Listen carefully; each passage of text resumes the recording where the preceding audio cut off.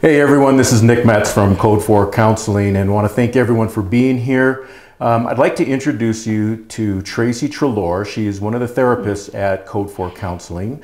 And uh, Tracy has been with us for a while and is just a, a phenomenal therapist and really, really cares about responders and their families. And so, but one of the things that Tracy specializes in, and some of you may have heard about this, is what's called EMDR. Now, don't ask me to recite back to you what that means, so I'm going to let Tracy do that.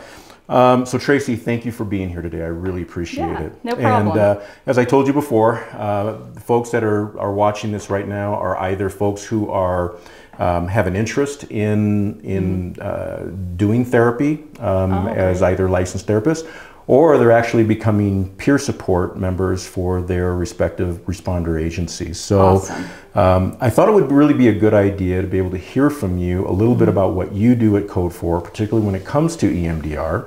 Okay. Uh, we, we talk about EMDR a lot in our peer support training, but I don't think we really do justice in explaining what that is. So I thought, Okay. again, it would be really good to have you here. So before we get started, can you just tell us a little bit about yourself? Yeah, I've been with Code 4 uh, two to three years now. It's absolutely one of my favorite places I've worked, not just saying that. um, I'm originally from Southern California. I got my bachelor's in psychology there, got my master's in counseling psychology there. Um, I've worked with a few different populations over the years. I've been doing this for about 10 years.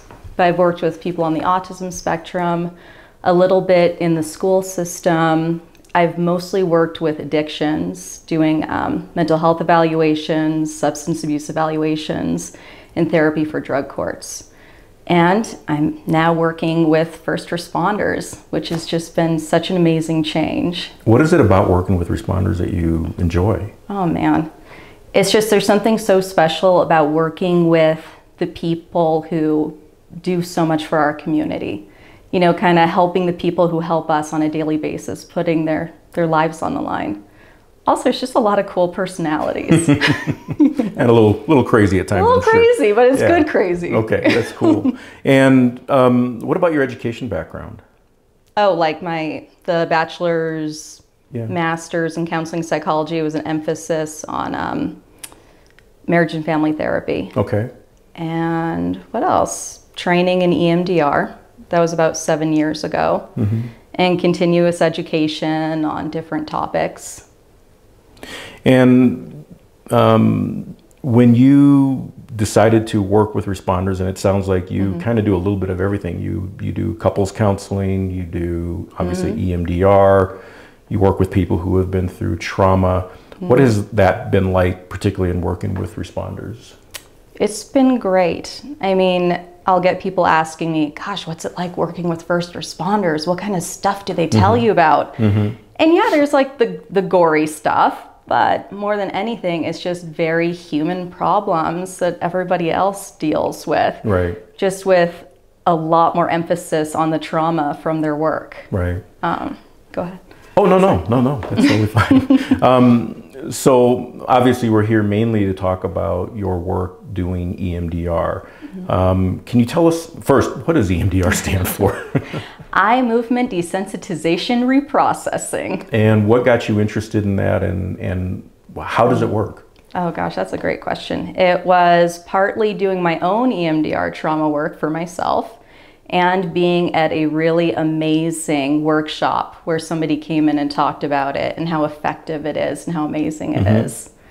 Um, I just, since I've been doing about seven years now, it has really opened up a whole new piece of my career. It makes a huge difference on how people feel, how people heal from their trauma than talk therapy, which is also great, but this especially just kicks in really well. So do you, is it fair to say you incorporate talk therapy with mm-hmm. E EMDR? I do EMDR. I love CBT, which is cognitive behavioral therapy.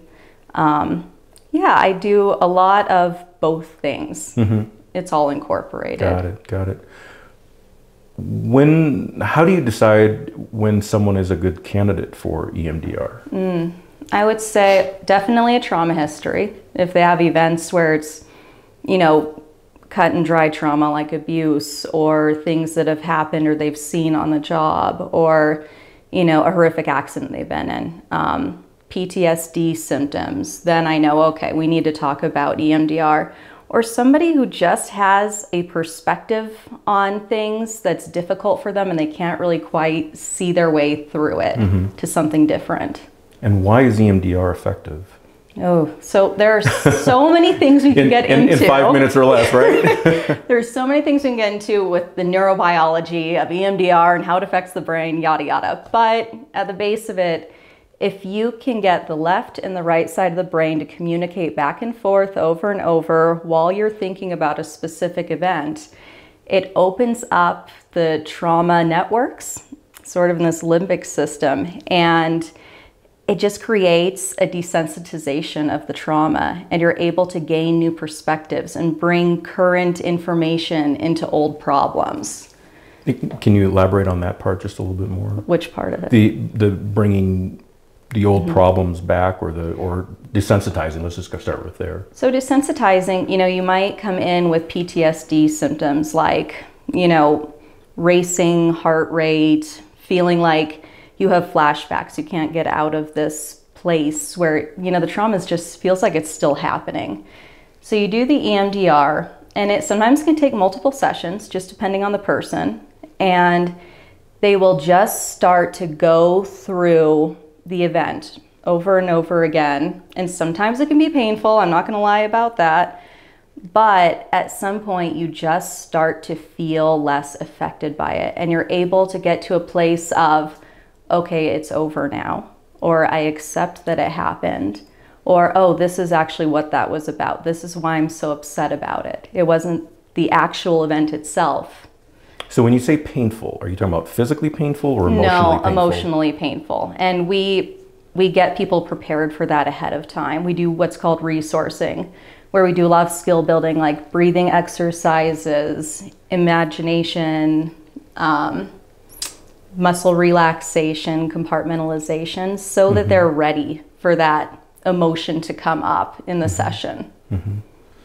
And is it a one session deal? Is it how long does how long does someone typically participate in EMDR? And everybody is so different. Mm-hmm. You know, absolutely bare minimum two sessions because you know you need to get the history, you need to develop your plan for how you want to go about EMDR because different people have different needs with EMDR too. Um, more often than not, we're talking maybe a couple of months. If somebody has an extensive trauma history, like childhood abuse, it could take longer. It mm-hmm. just depends. And some people take longer to prepare for actual reprocessing than others. And how do you gauge when it's working? How do you know it's working? Um, I would say if a client is feeling emotional during the actually processing, we know that we're hitting on something important. We know that we're bringing up that trauma network and it's working its way through the system. And then I really know it's working if by the end of session or when they come in the following session, they say, you know, I don't really feel much. It just doesn't really bother me anymore. Mm-hmm. Yeah, you know, it feels, I kind of feel okay. Now, I've heard some people say it's a form of hypnotherapy. Is it? Mm-hmm. Is it? Mm-hmm. No. How, how is it different? you know, honestly, Nick, I'm not sure. I've never done hypnotherapy, mm-hmm. but mm-hmm. it's not like you're hypnotizing okay. somebody. You're kind.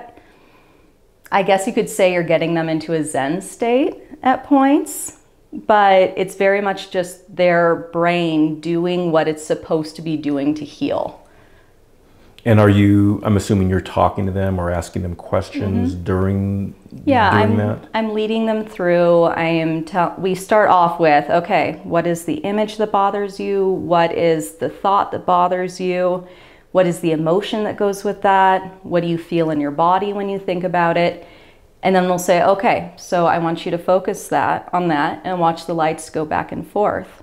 And I'll stop and I'll say, okay, what did you notice? And it's just very much a free association where they say, you know, oh, well, I feel really anxious, or, well, you know, I was just thinking through the event that happened. And then we mm-hmm. go again, and it just goes like that throughout. if somebody feels like they're stuck on something or they're having trouble feeling um, resolve about it, I might ask them some questions. Say, well, what would it be like to think about it this way? Mm-hmm. Or have you thought about this part of it? And you're talking about the specific incident typically, Yes. that, that specific trauma that they've gone through. Mm-hmm. And again, that could be something that was an, an adverse childhood mm-hmm. um, injury, as far or a emotional injury, or it could be something that was an on-the-job trauma that they've experienced. Correct. Absolutely. So it really doesn't matter whether it happened 15 years ago or 15 days ago. anytime, 15 minutes ago. Really? Okay. You know, anytime you can do it. Mm-hmm. And, and how long is an average EMDR session? An hour. About an hour. Yeah. Okay. And as it sounds like from what you're talking about, it's it's fairly intense. I mean, as far as It can be. yeah, Yeah, I mean, and both in a you know negative sense and in a really good sense. People feel really good when they leave. Sometimes, a lot of mm-hmm. the time, from mm-hmm. E EMDR. Mm-hmm. So I know that you know it's a lot of people out in the community right now that are therapists will say that they are EMDR trained, um, and I know you've done a lot more training and and you have a number of certifications. So what what's diff- what sets you apart from a lot of the other folks who who say they are EMDR trained? Well, EMDR training is sort of the base of what you can do with EMDR. It involves, you know, two two day trainings a few months apart and a certain number of case consultation and client hours doing EMDR. And it's great. I mean, there's nothing wrong with that. You can do a lot of work with it. But I knew that I wanted to work with more complex cases. So I wanted to go further and get certified in it. And that involves let's see, 50 some client EMDR hours, 20 to 30 supervision hours, letters of recommendation from peers and supervisors. There's just a, there's a lot more to that. Right. And so, so obviously you've you've delved into this into this type of practice in, in a pretty great amount of detail, right? So I noticed that you you've got a couple of machines behind me here. Um, I was hoping that I'm guessing these are the EMDR Yes. machines. Can you talk a little bit about them? So this is the light bar, and this is what we use for eye movement. So also, I didn't say earlier with the eye movements, it doesn't have to just be eye movements. You can really get your left and right side of the brain moving by any kind of stimulation to the two sides of your body. You can even use this with infants by tapping on their feet. Really? Yeah, it's pretty Okay. I amazing never heard of actually. Um, but this, which is my go-to, I love using the light bar. You just turn it on on the side. The person just follows the lights with their eyes back and forth. And is there do you does the speed of the lights change? Do you control the speed, and, and Mm-hmm. I why would you do that? I can make it faster, which people typically don't like very much, so I don't do I'm that. getting dizzy now, right? Yeah, nobody likes that. So let's say I'm trying to get somebody to relax and use some some nice imagery. I'll turn it way down. Mm-hmm. And that'll kind of get them in the mode. Well, which I guess this could be why people think it's kind of like hypnotism. Right, right. I could see that. But typically for trauma reprocessing, I think this is a pretty good speed. And so they're just following this back and forth while you are talking to them and are asking Mm-hmm. them questions about that, again, that specific trauma that they've gone through. Right? Or they're sitting in silence thinking about it. Mm-hmm.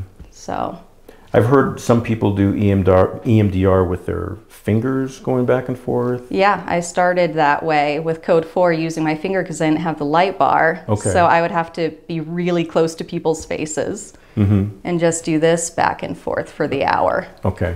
Gets really tiring. Yes, I bet it does. and you have another little device back here. What is this? Uh, these are the tappers. So the client would hold on to these, one in each hand. I don't know if they can hear that. Can you feel that? Yep. Yeah, it's kind of a vibrating. hmm Yeah, and that makes the left and the right side of the brain communicate back and forth when they feel that vibration going back and forth. so they have one in both hands as, as that's happening. Okay. Mm-hmm. And then again, I'm assuming you control the speed of that and so Right, and how the intensity of the vibration, all of that. right. Um, you can also do it auditory with headphones. There would be sort of a beep going back and forth. So, for someone who maybe has never never come to Code Four or any other or any other counseling service and has never been introduced to EMDR, but now they're watching this video and they're thinking, "Yeah, I went through a trauma as a child or a trauma in my, you know, within my work or a combination of the 2 Um, I- I guess how do they know they're if they might be a good candidate and what what processes should they use to look into that? Well, they need to talk to a therapist about it. You know, whether or not that therapist is EMDR trained or certified, they should be able to point them in the direction of somebody who is if they aren't.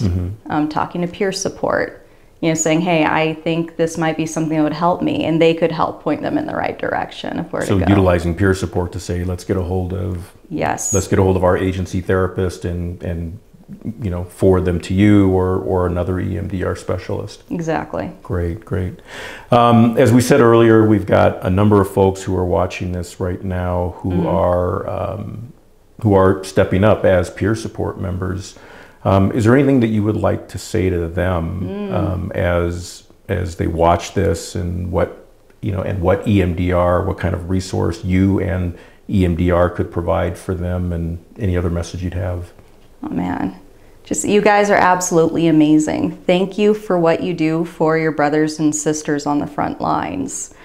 Um, you are probably a lot of times going to be the first step in this process to somebody getting help, and that is absolutely huge. We appreciate you so much for for doing this extra work.